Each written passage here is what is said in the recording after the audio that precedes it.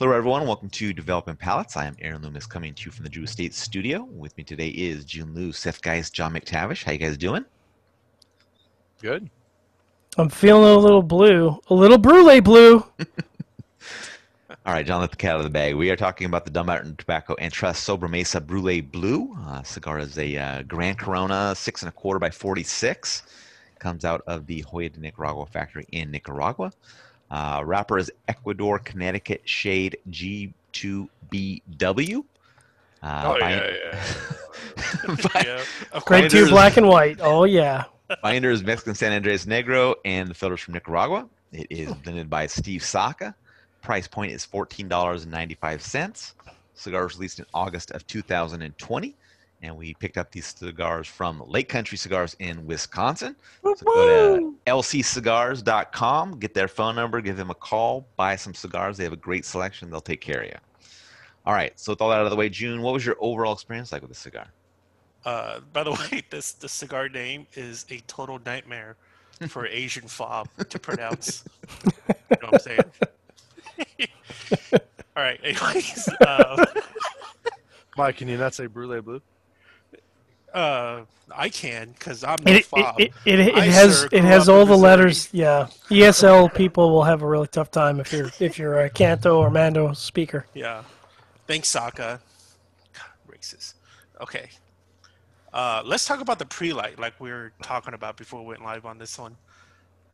So, pre-light was, uh, I mean, first of all, let's get the obvious out. The the tip is sweetened, right? Um, so for sure that, but when I was smelling like the wrapper and the foot, um, I got this campfire note, uh, which, you know, it made me wonder, like, hey, did this? I, I don't know why I would, uh, but I definitely got that. Uh, wasn't in my head, you know, for cigar today, of course, being cigar review. Uh, but so that was really unique. Uh, but in terms of the actual flavors of the cigar, I I like this for sure than more so than the uh, original brulee. Um, I thought that the cigar had um, a good amount of body, good toasted almonds, butter bread, oak. Um, I actually like the sweet cap because like in a way it gives it gave like an extra like dose of sugary um, and sweetness to it uh, not like a synthetic sweetness but like a sugar cane kind of sweetness uh, and i really dug that so overall i thought it was good um, construction was great uh, Saka made stuff uh, you know especially out of you know Joya um, have good marks with uh, construction so um, surprisingly i i enjoyed it i thought i was going to be a similar type experience in the original brulee but uh, I'll definitely pick this one over that. All right, Seth, what were your thoughts? Wait, was the cat cap sweetening on this? Yeah, I thought it was there was a very subtle sweetness, but I, also, I thought there was a little bit like a spi- like a little slight spiciness kind of added there that I didn't get from the rest of the wrapper. So I didn't get I didn't get major sweetness. I mean, Uh, I not major sweetness. It was very subtle to me. It's Yeah, very subtle. subtle. Very I got subtle.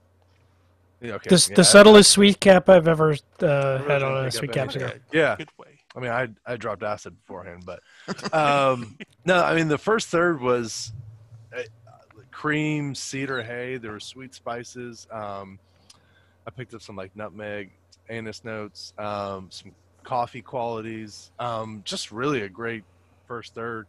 Um, second third started showing some some tropical fruit notes, um, some sweet cream qualities with the cedar. Um, final third was more in line with the first third. Just a really good, flavorful, smooth Connecticut, in my opinion, with great construction. All right, John, what were your thoughts? So I also had uh, interesting pre-light experience, and I had to reach out to Aaron privately. I'm like, did these cigars? Did something happen? Um, the closest analogy I could make is that if these cigars were in a in a bag and some Laphroaig 16 kind of got sprinkled around, because that's like that's the peat smoke sweetness that I was getting off, and I'm like, I'm like, this is really unusual, and I'm concerned because it's a shade cigar, and never in my life have I had these aromas off a shade cigar, so something's funky. Um, and I, I, interestingly enough, uh, so in the first third, I did actually get like a almost a mild peat smoke uh, in the retrohale. It was very subtle, very light.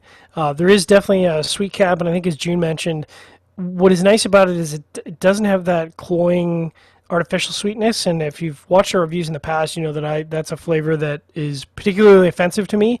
I do not like that that artificial sweetness. It's saccharin. I can't do diet pop. It really for be- lack of a better term, it anchors itself on my palate, and I just can't shake it. That wasn't the case here. The sweetness kind of lingered for like maybe two seconds after a draw, and then it just it was completely gone, and there's no trace of it on my palate. So uh, first serve was nice. It had a lot of balanced complexity. Um, that sort of peaty smoke kind of anchored everything together. Some nutmeg. Um, I found the second, third, and last third to be kind of very traditionally Connecticut. I mean, it was interesting, but it just didn't elevate itself for me. Um, you know, with some hay, uh, some mild bitterness, um, and again a little bit of peat smoke at the first first half of the second third, and then the last third was just really what I'd call.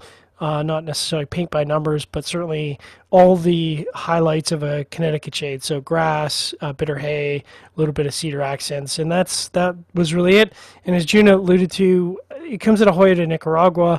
I don't think there's a factory I've been to more than Joya de Nicaragua. I know they have great quality control, and that certainly shows here. Um, you know, really great burn, really great draw. Um, yeah, Aaron, walk us through your experience. Yeah, same as you, John. Um, had that uh, kind of uh, you know fire cured smokiness on the aroma from the wrapper. Also on the pre-light draw, I got some of that um, on the uh, the head of the cigar. Um, I got like this little kind of subtle spiciness that was there that was not on the rest of the wrapper. Um, really faint sweetness. I didn't, you know, it wasn't it wasn't as uh, distinct as it was on the original Brulee uh, to me. But uh, cigar had a nice start. Uh, had some mushroom mustiness. You know, gave a good boost to the dry wood and the baking spice that was there. But what that once that mushroom note kind of left the mustiness, um, it kind of dropped down to average for me and kind of maintained that level the rest of the way.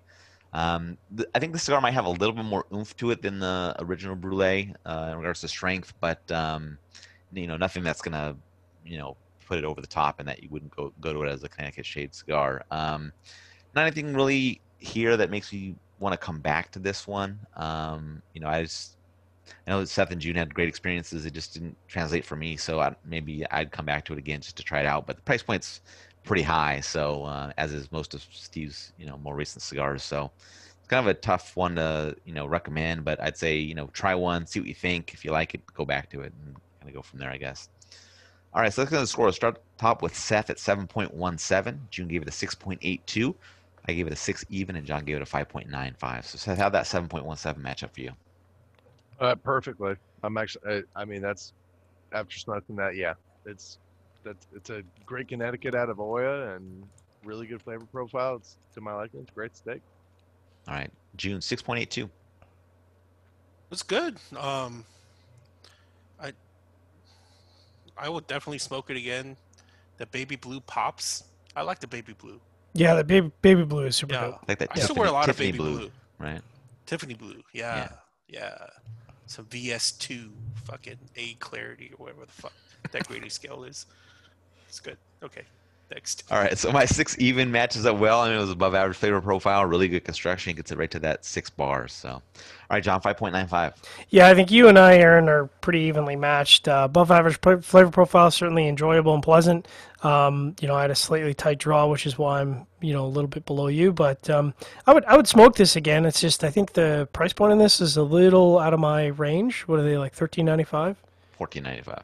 Oh. Yeah, that's a that's a bit much. Um, you know, no disrespect to Steve. It's just that's that's a lot for a Connecticut. So, um, A for that- quality, buddy. yeah, that might that might put it out of my price range, unfortunately. All right, any other final thoughts from you guys on this one? The blue really pops. I agree with Aaron. Or Yeah. Jiunn. A lot Yeah. better than the original Brulee. It's better than the original Brulee. Did the, is did the original Brulee have that pigtail cap on? I don't. I didn't. The man bun, the Recall mini that. man bun.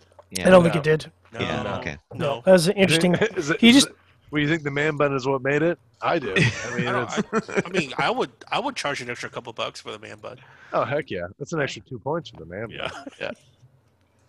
I mean, uh, it didn't get anybody to make it very good in the pre-light though, so it's. I guess it It, wasn't. He it, it it needed on it needed another there, compl- so- it needed another complication. You, like the, that was al- I almost it, and I was like, man, with that baby blue, you're almost there. You're like a hair below that very good pre-light. Not that it counts for anything, um, but if he had like one other complication on there, that would have been it.